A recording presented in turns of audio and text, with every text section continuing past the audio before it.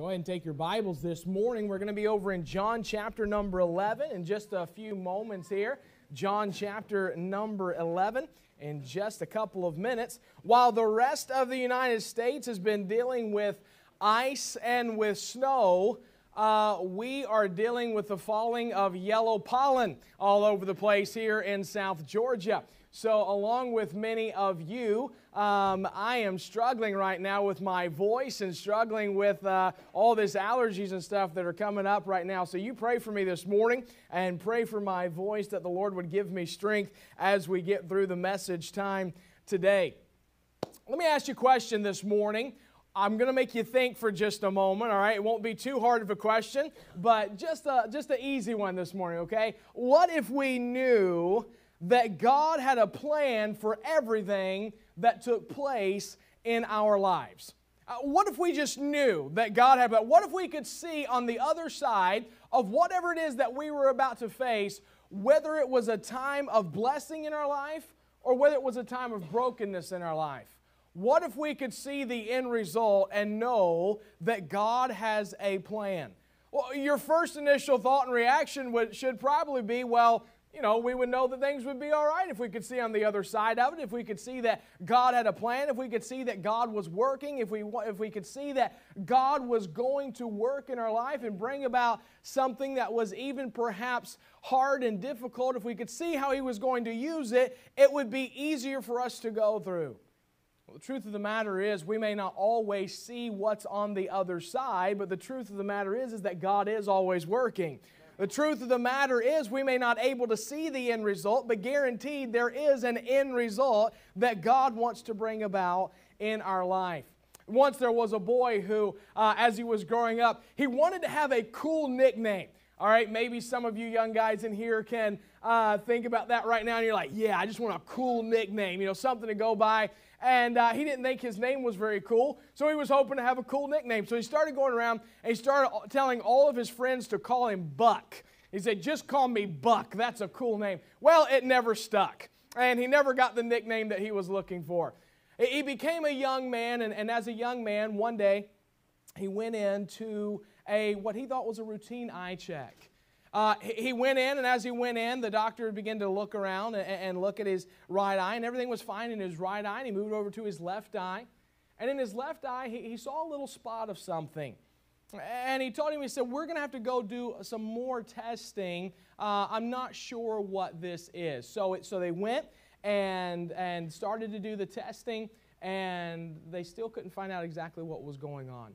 So at that point in time, the doctor uh, said, Listen, we're going to have to go in and we're going to have to uh, do some surgery on the eye. He said, If we get in and it's just some sort of a broken blood vessel or something that's in your eye that's causing this spot and that's doing this, he said, When you wake up, he said, You will uh, just have a, an itchy eye and it'll kind of be like a bloodshot eye for a few days and you'll be okay. He said, If you wake up, though, and it was cancer, he said, You'll wake up without your eye.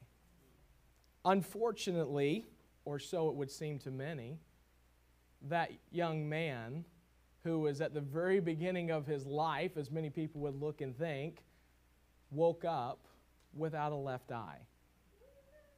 At that point in time, he had two options. He could either trust the Lord and believe that this was in God's plans, or he could be upset that God would allow him to have lost the use of half of his vision at such a young age. That he would cause him for the rest of his life to have to go about with only one eye. Which path would he choose? We'll talk about that more in just a little bit. I want you to go down to your Bibles with me. Go to John chapter number 11. John chapter number 11 is where you are. I want you to go with me. We're going to begin reading in verse number 1 together. John 11, verse 1, the Bible says, Now a certain man was sick named Lazarus of Bethany, the town of Mary and her sister Martha.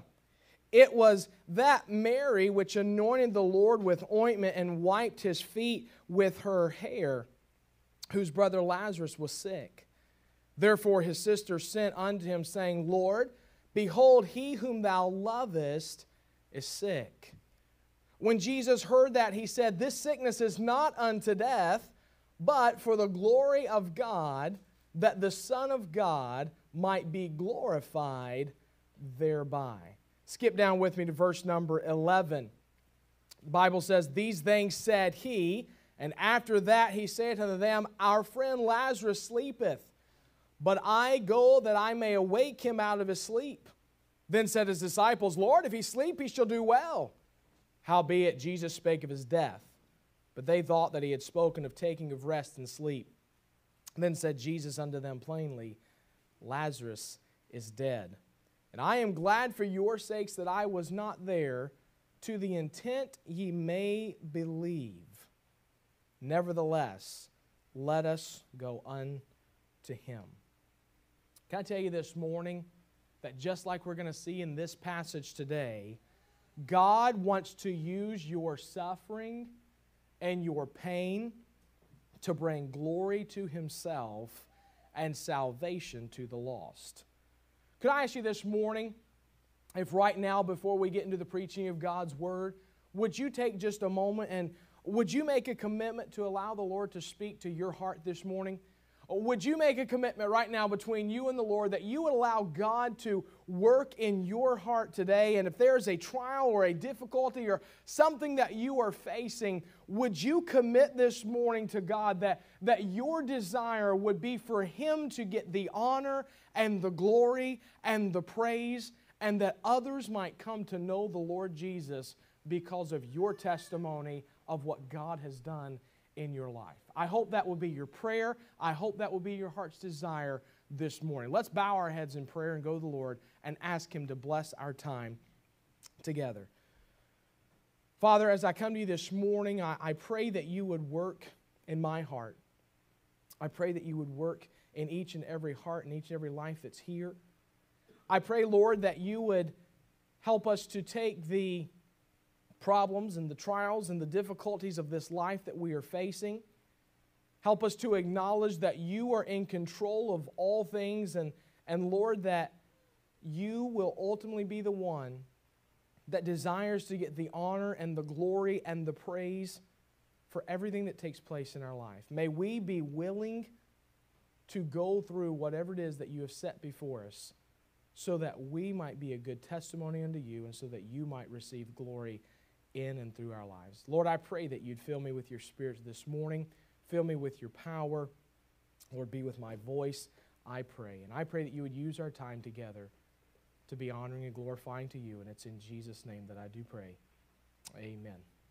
I want you to look with me this morning and go back to the beginning of this chapter in John chapter 11. I want you to notice, first of all, a foundational truth foundational truth. First of all, look at verse number three with me. The Bible says, Therefore his sister sent unto him, saying, Lord, behold, he whom thou lovest is sick. Mark that word lovest there if you mark things in your Bible. Then skip down to verse number five.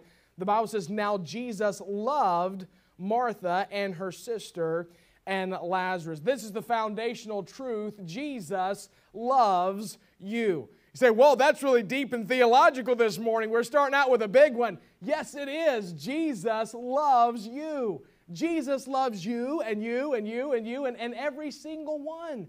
Paul writes in the book of Romans, and, and he says there in Romans 8 38 and 39, For I am persuaded that neither death, nor life, nor angels, nor principalities, nor powers, nor things present, nor things to come, nor height, nor depth, nor any other creature shall be able to separate us from the love of God which is in Christ Jesus our Lord. Can I tell you this morning, if you're lost, Jesus loves you, and if you're saved, Jesus loves you. Jesus' love doesn't change for you based on who you are or where you are. He loves you. That's a foundational truth. If we're going to understand the rest of the passage, we have to understand this foundational truth that Jesus loves you. We sing the song with our kids. We sing it growing up, but can I tell you, it's a great song for adults as well. We sing, Jesus loves me, this I know. And we sing the song, we say, Jesus loves me, this I know, for the Bible tells me so. Little ones to him belong, they are weak, but he is strong. We say, Yes, Jesus loves me. I sing that song with Grayson, and uh, Grayson listens to everything and he hears it, and, and you start singing the song and saying, Yes, Jesus loves me. And he goes, No, no, no, Jesus loves me. And I'm like, yes, that's what I'm saying. Yes, Jesus loves me. You go, no, no, Jesus loves me. And so I have to sing the song, Yes, Jesus loves me, and Gray Gray. Yes, Jesus loves me, and Gray Gray. Yes, that's what, why? Because he wants to say, Jesus loves me. Oh, if we could grab a hold of that foundational truth as a little child would grasp a hold of it, that Jesus loves me. Jesus loves me. Oh, how Jesus loved Mary and Martha, and oh, how he loved Lazarus, and oh, how he loves you. He shows that here by showing us the purpose of this sickness in verse number four. The Bible tells us that Lazarus is sick. They send to Jesus, and they don't. The Bible doesn't tell us everything that they wrote, but they simply says that they sent to him and said, "He whom thou lovest is sick," because they thought, well, Jesus loves him, and if we just tell him he's sick, he's going to come. I mean, he's healed everybody else, he's done all these other things. Surely he's just going to come and heal Lazarus, or maybe he'll just speak and heal Lazarus, and things will be okay, it'll be fine. We just want to let Jesus know that the person that he loves is sick. Jesus says in verse number four that the purpose of this sickness was not unto death. You say, well, wait a minute, wait a minute. Doesn't Lazarus die? Well, yes, he does, but that wasn't the purpose of the sickness. The purpose went far greater. There was a greater purpose. There was a greater thing. And by the way, uh, yes, he might have died physically, but he did not die eternally at that point in time. And, and so, what we see in verse number four, it says, "This sickness is not a death, but what for what? For the glory of God, that the Son of God might be glorified thereby." Someone wrote and said this: "It brought more glory to God for Lazarus to die." Than if he had been healed. You know, what a wonderful truth that everything that happens is for a purpose. Everything that we go through as a believer is for a purpose. Everything that people that God loves, everything they go through is for a purpose. And the purpose here that we see is that God might get the glory. Paul wrote in Philippians chapter 1 and in verse 20, he said, According to my earnest expectation and my hope, that in nothing I shall be ashamed, but that with all boldness as always, so now also Christ shall be magnified in my body. It's the thought there that, that the Lord might be glorified, that the Lord might be made known in my body. And then he says this whether it be by life or by death. Boy, all that we all could say that this morning that our life, whether it be by life or whether it be by death, that ultimately God might get the glory for my life. Can I just tell you that if that is our heart's attitude this morning, it will not matter what we go through, it will not matter what we face, it will not matter what lies ahead. If our goal is that God might get the glory and we could see that purpose, we would be willing, like Paul said, it doesn't matter if I live or die. I just want Christ to be magnified in me. I just want God to get the glory for my life. Can I ask you this morning? Are you willing to take whatever you're facing in your life? Are you willing to take whatever trial you're in right now? Are you willing with whatever tribulation you face on this side of glory? Are you willing with the problems and the hurt and the pain that you're going through? Are you willing to take that right now and say, God, I want you to be glorified in my life. That was the purpose of this sickness, Jesus said. But I want you to notice also, as he continues on, Jesus tells about the power that he has over this sickness as well. Jump down with me, look at verse number 11. Jesus tells his disciples that they're going to go and that they are going to go into Judea.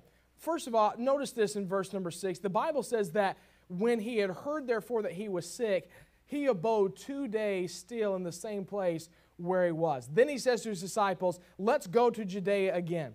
They, I'm paraphrasing here, but they say to him, Listen, didn't they, didn't they seek to kill you in Judea? And the Lord goes through and he gives them this, this kind of a thought here. He says, Are there not yet 12 hours in a day? You have to walk in the light so that you don't stumble. What Jesus is trying to tell his disciples is that nothing was going to happen to him until his time. Until it was time for him to go to the cross, there was nothing that man could physically do to hurt him or to kill him before his time. And so he tells them in verse number 11, he says, These things said he, and after that he said to them, Our friend Lazarus sleepeth, but I go that I may awake him out of sleep. Mark that in your Bibles because this is what Jesus was trying to show them that he had power over the sickness. He's saying he's, he's asleep, but I'm going to go wake him up. And they go, Well, Lord, if he's sleeping, then that's good. Sleep is good when you're sick. That means he's getting rest. That means he can help recoup, and, and his body's going to help recoup itself, and, and he's going to be good to go. And Jesus says, No, no, no, no. Lazarus is dead. And I'm glad that I wasn't there for your sakes. He says, But that ye might believe. Look at verse number 15. He says, I'm glad for your sakes that I was not there, to the intent ye may believe. Nevertheless, let us go unto him. Spurgeon writes, he says, We often wonder that the disciples put such poor meanings upon our Lord's words, but I fear we are almost as far off as they were from fully comprehending all his gracious teachings. Are we not still, as little children, making little out of great words? Jesus is saying to his disciples, I'm going to go and I'm going to heal him. He says, He's sleeping, but I'm going to go wake him up out of his sleep. And his disciples go, Don't wake him up. Don't do that. That's bad. Jesus goes, No, no, no. Lazarus is dead. What he's trying to tell them is that he has power to raise him from the dead. And they missed it. They didn't quite understand. Can I tell you this morning how oftentimes we miss what the Lord's trying to do in our life? How many times do we miss what God desires to do? How many times do we miss what Jesus is trying to accomplish in and through perhaps our pain and our hurt and our difficulty? Notice that Jesus not only had a, a, a power over the sickness, but he had a plan as well. Look with me in verse number six. We read it just a moment ago. It says, He abode two days still in the same place where he was. Look down at verse number 17. The Bible says, Then when Jesus came, he found that he had lain in the grave four days already. To a lot of people, Jesus was four days late. Jesus, though, when he heard of the news, says, Listen, I'm going to stay here for a couple of days. And he doesn't move and he doesn't go. Can I say this? There's never an emergency with Jesus. There's never been a time where Jesus started going, Oh, oh, what, are we, what, what, oh, what, what am I supposed to do? Okay, you ever had those moments? if you've got kids, you've had those moments, okay? If you've ever had children, and you've ever been around children, or you've just been around human beings in general, there is an oh no moment in your life. It's like, oh no, don't do that. You know, it's like there's those emergency times. It's like, hey, you got to hurry up and come. Let me ask you, what would you do if you called me and you said, hey, Pastor, I just want you to know that my husband or my wife or my child, they, they are very sick, they're at the hospital, and they don't think they're going to make it for long. How would you feel if I showed up two days later? Or four days later? and you found out, well, what, what was he doing? No, oh, well, he was just hanging out talking to other people for a couple days. He just had stuff he had to do. And then I showed up after the fact. See, the way that our minds work is not the way that God's mind works.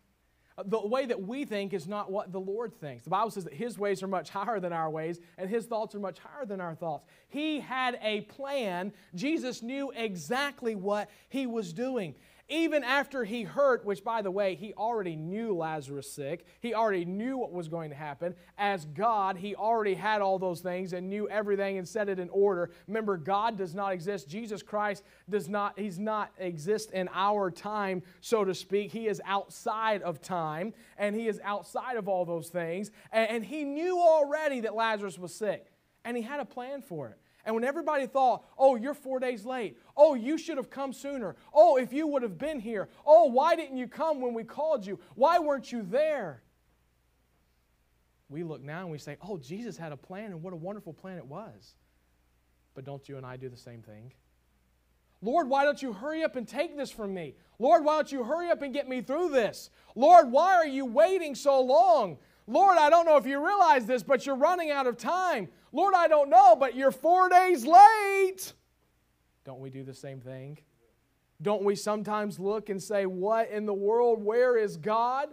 Why hasn't the Lord done anything? And yet, God is always on time. There's never been a time where God had to go back and say, you know what, let, let me change that. Let me, let, me, let me reverse that timeline and get back and jump in there sooner. Why? Because God's always on time. He has a plan. And I'm here to tell you this morning I don't know what your problem is, I don't know what your pain is. I don't know what trial you may be going through. There may be something in your life right now that only you and the Lord know about. There may be something that just you and your family know about. There may just be something that you're burdened about and that you're hurting about, and that's a pain and a difficulty, and you're facing it. And maybe you're saying, Lord, where are you in all this? I've sent for you, and you've waited, and you've not come. Where are you? Foundational truth Jesus loves you. If you understand that, then you will understand that God has a purpose for that pain that God has the power to get you through that pain, and that God has a plan for that pain, and that He is going to help you to make it to the other side. Listen, can I tell you this morning that there are many people, there are many believers, and if you're watching this morning, hear this. There are believers that need to stop measuring God's love for you by the trials and difficulties that you're going through and start measuring your trials and difficulties by God's love for you. See, we, we think sometimes, well, apparently God doesn't love me and care about me because if He did, I wouldn't be going through this. Can I show you that the Bible says in verse 5 now Jesus loved Martha and her sister and Lazarus. The first love that he says that, that, that they sin, they say, He whom thou lovest is sick. There's two different Greek words. The first one that's used is a, is a friendship type of love. The second one that is used is the God love, the agape love, the no strings attached. And it says he loved them. Therefore, what happened? He waited two days before he came.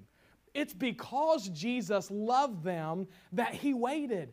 It's because Jesus loved them that He allowed this to happen in their life. It's because Jesus loved them and because He wanted to get the honor and the glory for what was about to take place. It's because of that that they went through the trial. It's because of that that they went through some of the pain. It's because of that that they went through some of the hurt. And there are people this morning that you're going through a trial, you're going through a pain, and you're going through a hurt, and you're thinking, Does Jesus even love me? And I'm here to tell you this morning that I don't know ultimately every single thing that God is trying to do, but I know this God wants to get the honor and the glory because you uh, and what you're going through, it's because He loves you and He wants you to be able to bring honor and glory to Him and be a testimony to other people in your life.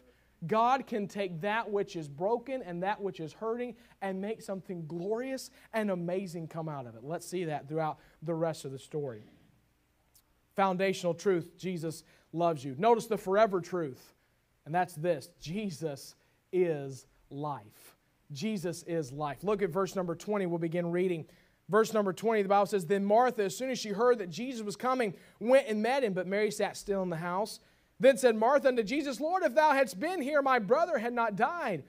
But I know that even now, whatsoever thou wilt ask of God, God will give it thee. How, how many of you see Martha in yourself so much? Lord, if, you, if only you would have been here, he wouldn't have died. But Lord, I know that you can ask anything and God will still do it. And then she goes on, Jesus says to her, Thy brother shall rise again. And she says, Yes, I know that he shall rise again in the resurrection of the last day. It's like, Lord, uh, if you'd have been here, he'd have been okay. But I know that you can ask anything. But then Jesus says, Your brother's going to rise again. He's like, She's like, Yes, I know at the end of the last day. But she's just like this battle that's going going on with it, like, Lord, if you only would have been here, Lord, I love you, but why were you not here? And why, why did you not help this? And I know that you can do anything, but why didn't you do this? And, and there's this battle that's going on within her. But in the midst of that battle comes a forever truth, and that truth is that Jesus is life. She says, Lord, I know that he'll rise again at the last day. And Jesus says to her, I am the resurrection and the life in verse 25. He that believeth in me, though he were dead, yet shall he live.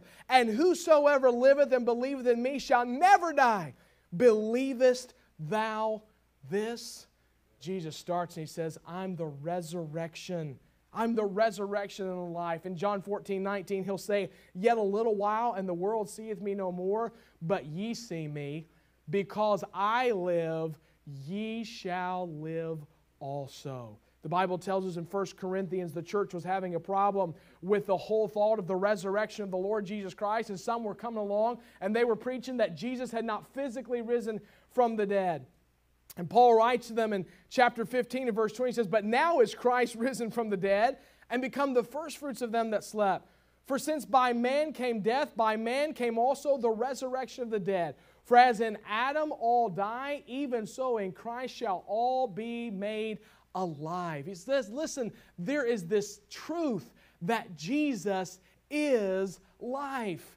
It's not that uh, it's not that we have life through some other means. It's not that we have to go some roundabout way and, and find life and find out. No, no, no. Jesus is life. To know Jesus is to know life. To have Jesus is to have life. And he says to Martha, I am the resurrection and the life. She says, Oh, I know that there's coming a day. There's going to be a resurrection at the end times and all of that. There'll be a resurrection of all. And I know that he'll rise. And Jesus says, No, no, no. I am the resurrection and the life.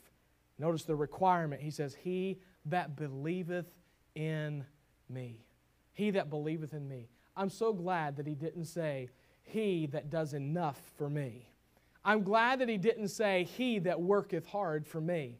I'm glad that he didn't say, He that hath enough money and gives to me. I'm glad he didn't say those things because a lot of people would be left out. But he said, He that believeth in me.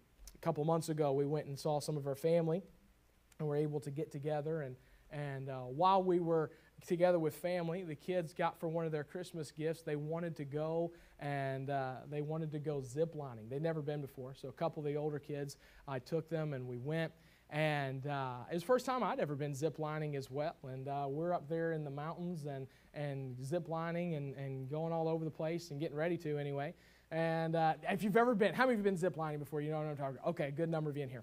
Okay, so they go on and they hook you up all in this harness and everything, get you all hooked up, and and uh, they take you up and you walk up and, and you get to the spot and you get to the cable and, the, and they hook everything on. They show you how it hooks on and they do it for you. And then and, and, and the guy our guide and all that was there and doing all this um, he gets everything on there and gets it on and, and then says uh, don't touch this up here like this. And um, you know other than that that's about it. He's like after that you just jump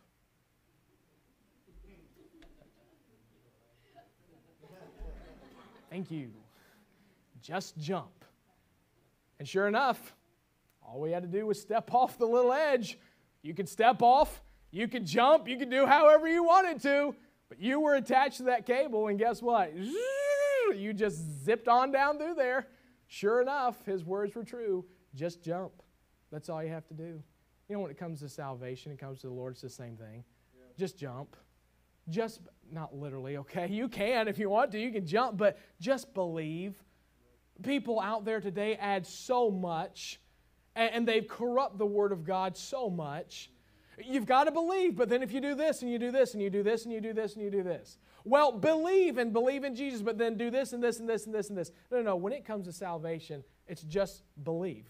Believe the Lord Jesus Christ. Believe what He did. Yes, you must recognize that you're a sinner in need of a Savior, and then you have to believe on what He did. He died for your sins, for your rotten, dirty, no good self. That's what He died for. For my rotten, dirty, no good self, that's what He died for.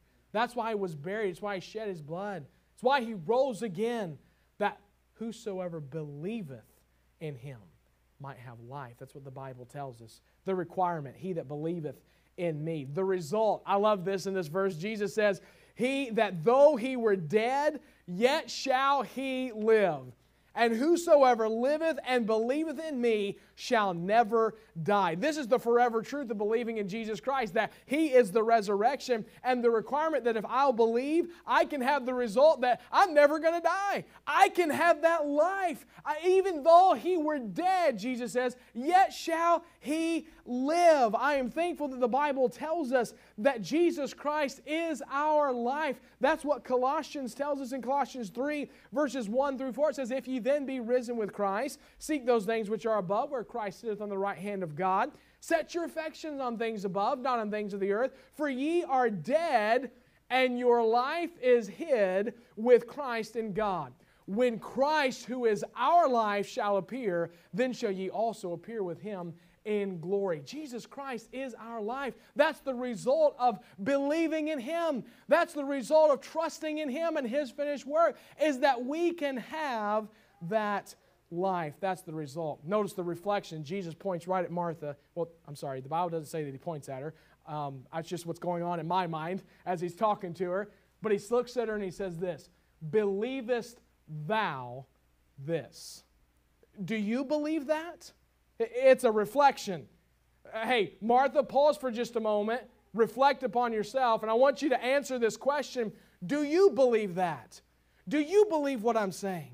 Do you believe that I am the resurrection and the life? Do you believe that if you believe in me, you can have that eternal life and that you'll never die? Notice the recognition that she gives him. She says, Yea, Lord, I believe that thou art the Christ, the Son of God, which should come into the world. Oh, how I hope every single one of you sitting here this morning and those of you that are watching online right now, I hope that you know and that there has been a moment and a time in your life where you have said those same words as Martha did, not just those same words, but the same drive of what those words have behind them. That, yes, Lord, I believe that you are the Christ. I believe that you are the Messiah. I believe that you are the Son of God. I believe that you are the one who came to die on the cross for my sin and that you were buried and that you rose again. And Lord, I believe in you and I trust that I have eternal life because of trusting in you and believing in you. I hope that you know that in your life. I hope you're not walking around thinking, well, maybe I did, or maybe I have, or, or perhaps when I got baptized, everything came together. Or I hope you're not sitting there thinking, well, I've tried to live a good life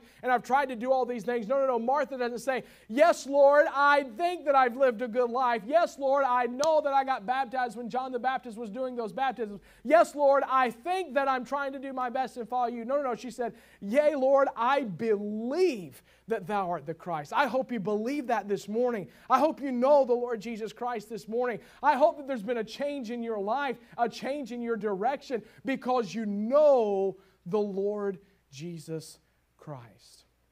A foundational truth, a forever truth. Amen. Forever truth.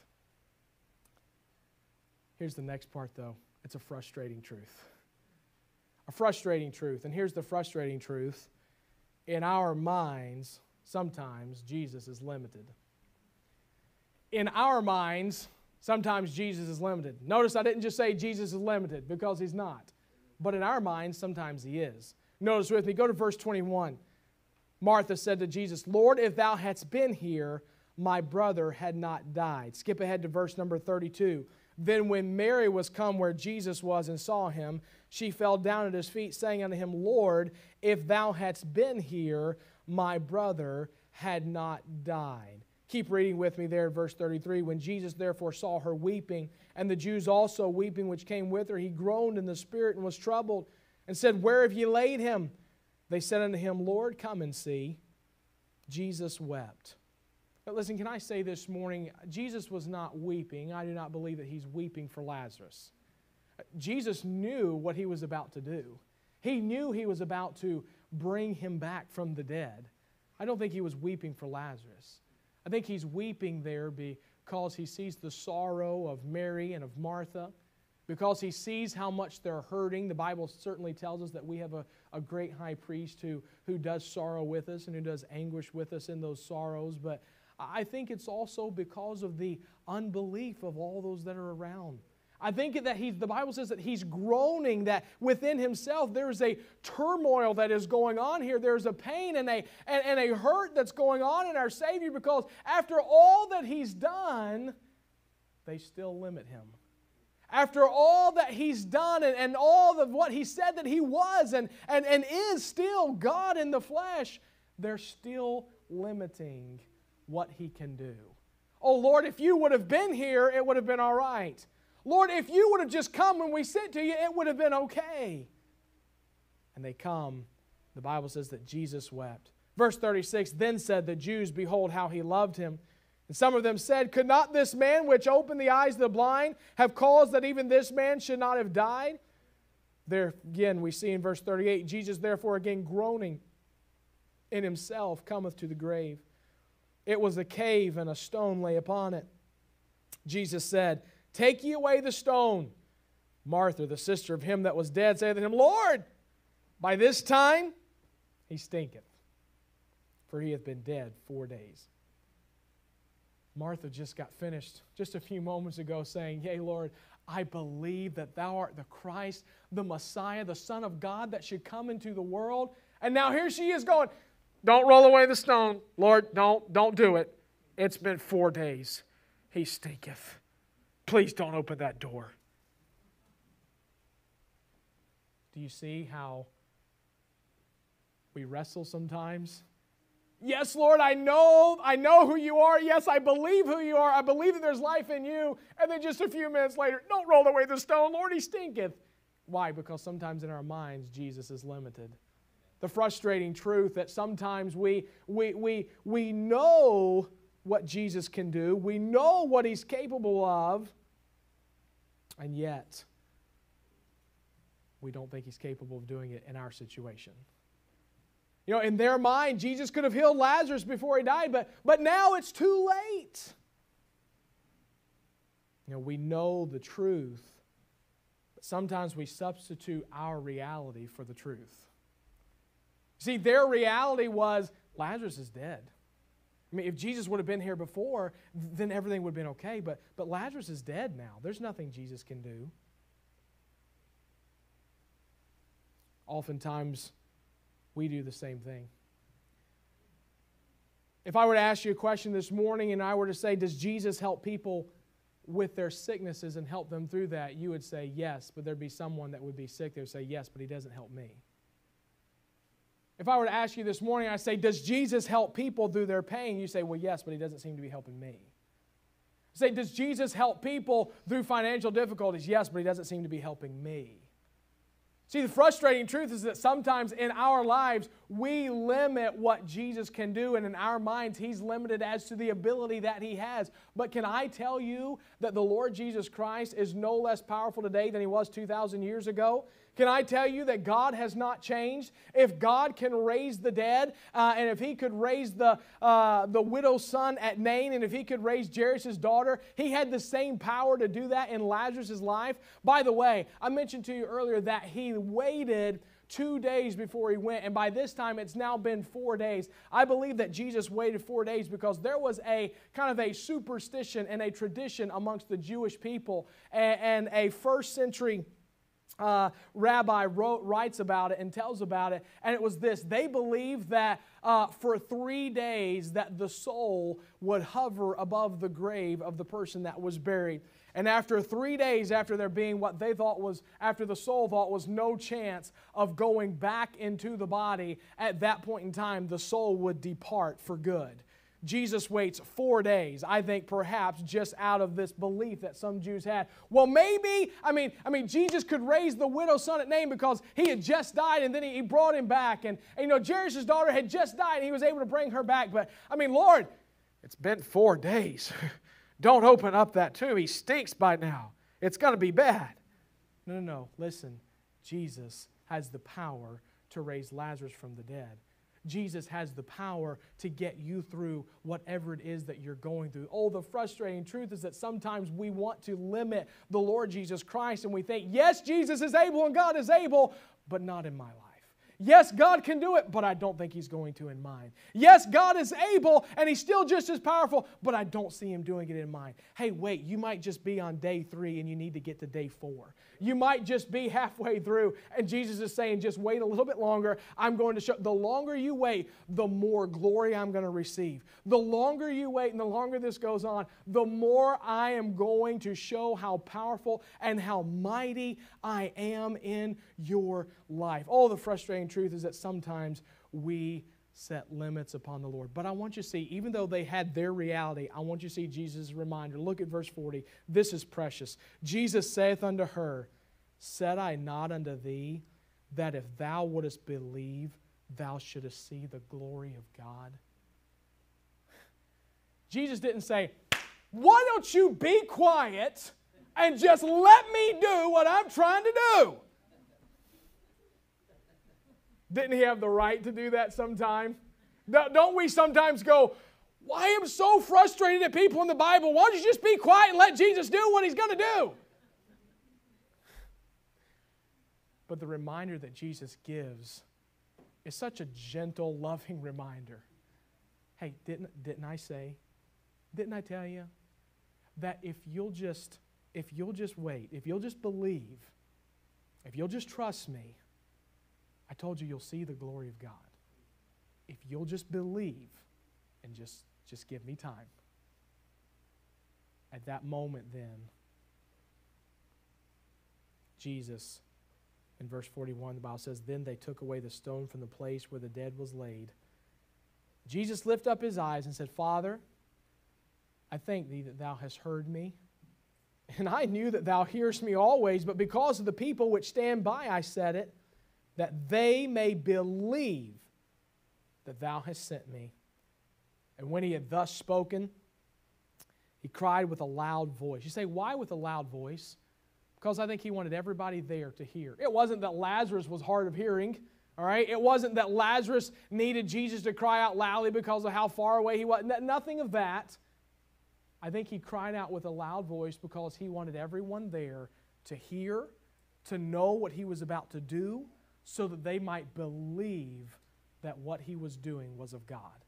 And so he cries with a loud voice, Lazarus, come forth. I love what one preacher said. He said he had to say Lazarus because if he would have just said, Come forth, every grave would have been open and every single person would have started walking out of the grave. But he says, Lazarus, come forth come forth. And the Bible says, and when he had thus spoken, cry with a loud voice, Lazarus come forth, and he that was dead came forth, bound hand and foot with grave clothes, and his face was bound about with a napkin. Jesus saith unto them, Loose him and let him go. I heard one preacher talk about going and taking a trip over in Israel and said before his group had got to the tomb where uh, Lazarus' tomb was there, he had hired an actor over there and had him got dressed up in clothes and had him wrapped up and put a napkin over his face and everything and said they went to this portion and read this scripture. And when he said, Lazarus, come forth, that guy came walking up out of the tomb like that and two ladies passed out right there on the spot. Oh, what it must have been like when Jesus says, Lazarus, come forth. And here he comes walking up out of that grave. And Jesus says, What are you standing right here? Loose him and let him go. Oh, can I tell you the last truth this morning? It's a faithful truth, and that's this Jesus, He's not only life, but Jesus gives life. Jesus gives life when he called out to the dead, Lazarus, he says, Lazarus, come forth. At that moment, he starts walking out of there. He gives him life and then he gives him liberty. He says, Loose him and let him go. Oh, the freedom and oh, the liberty and all the freedom and forgiveness that we have in the Lord Jesus Christ. The life that he gives us when we call out on him as a sinner who is bound in chains, as a sinner who is lost and on our way to a devil's hell. But we cry out to the Lord, and He says, Loose him and let him go. What a wonderful truth that there's life in the Lord Jesus Christ. What a wonderful truth that this pain that these people went through, this trial, this difficulty, this burden, this hurt, all of it was for a great purpose that God might get the glory and that people might come to know Him. I want you to look at this. Don't miss this. Verse number 45. If you mark stuff and write it down, mark down the second word of verse number 45. Then many. Then many of the Jews which came to Mary and had seen the things which Jesus did believed on him. What was the purpose of all this? What was the point of all of this? Why the hurt and the pain and the sorrow and the difficulty and the trial and the brother dead for four days? Why all of this? Because many believed on Jesus. Many came to a saving knowledge, and God and the Lord Jesus Christ got the glory. And 2,000 years later, as we sit here in church on a Sunday morning, God is still getting the glory, and the Lord Jesus Christ is still getting the glory because He is the giver of life. What a faithful truth that there is this morning that Jesus still gives life. Oh, there's some of you this morning, there may be someone that you're sitting in, you're, you're bound in grave clothes still. You're dead in your trespasses and your sin. Maybe you're watching this morning and you're still dead You say, well, oh, look at yourself and think, well, I'm still moving. I think I'm okay. We're not talking about physically this morning. I'm talking about spiritually. The day you were born, you were dead. You were dead in your sins and in your trespasses before God Almighty. But the Bible tells us in Colossians 2:13, and you being dead in your sins and the uncircumcision of your flesh, hath he quickened together with him, having forgiven you all trespasses. The truth is, when you come to the Lord Jesus Christ, he makes you alive. He will give you life. And if you do not know that life this morning, if you do not have that life this morning, oh, that you would come to Jesus and you would cry out and call out to him that he might give you life. If you're watching this morning and you don't know the Lord Jesus Christ, if you're watching out there and you say, There's never been a time in my life where I've been, where I've been freed from the chains of sin, uh, there's never a time where I've gotten out of this bondage that I'm in. Go to the Lord Jesus Christ. Cry on Him now. Cry out to Him today. Call on Him. Confess your sin to Him. Tell Him that you need a Savior. Tell Him that you believe in His death, His burial, and His resurrection. And call on Him for salvation.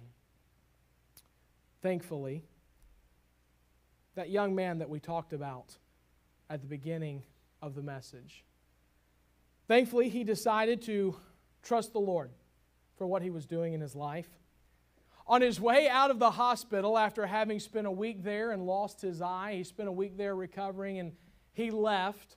And on his way out, he, he had a bandage over his left eye. And as he went out that morning, there was a mom who was coming into the hospital with her little boy. And as he came out uh, the door and they met each other at the door, the little boy said, Look, mommy, they have pirates here. And the mom hurried up and grabbed her kid and took her away, as all moms would do. Hurry up and pulled him off to the side. He went to church that next Sunday and had a patch over his eye. Uh, there was a young man that was about five years old, and I say young man, but a young boy that was about five years old who was a really good friend of his. And, and he would run up to him. He ran up to him and he said, Where have you been? And he looked at him and he said, Whoa, what's that on your eye? And he said, Well, it's, it's a patch. He said, It's kind of like what a pirate would wear. And the boy looked at him, his eyes got really big. He said, Whoa. He said, Are you a pirate? And he said, Well, he said, I, I guess, he said, I guess you can just call me Patch the Pirate.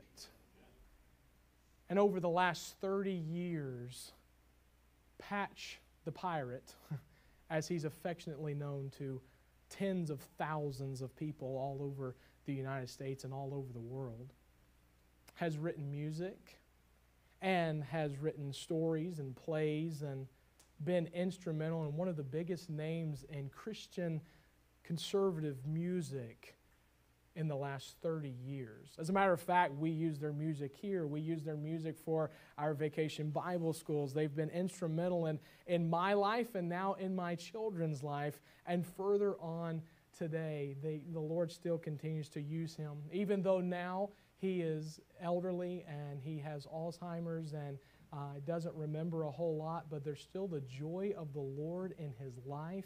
And God is still working and using his testimony even in my life today. All because he chose and he said, Lord, I'm not going to look at this as you being mad at me or you not wanting to use me, but I'm going to look at this as an opportunity for the Lord to get the glory.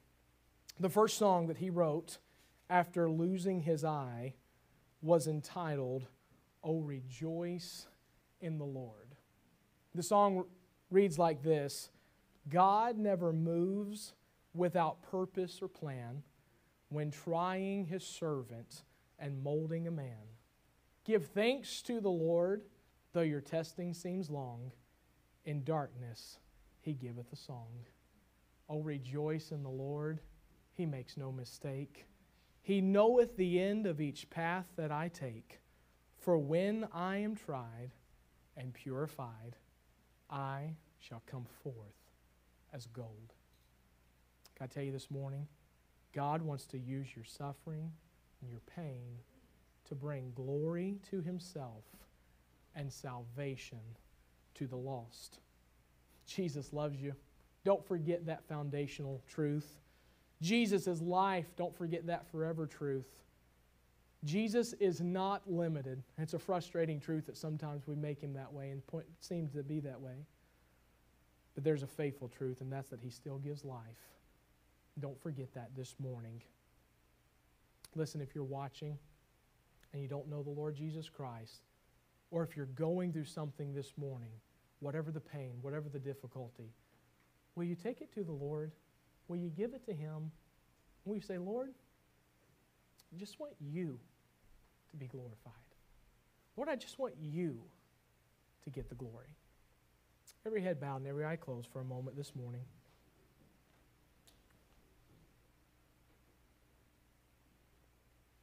Christine is going to come. She's going to play that song this morning. Oh, rejoice in the Lord.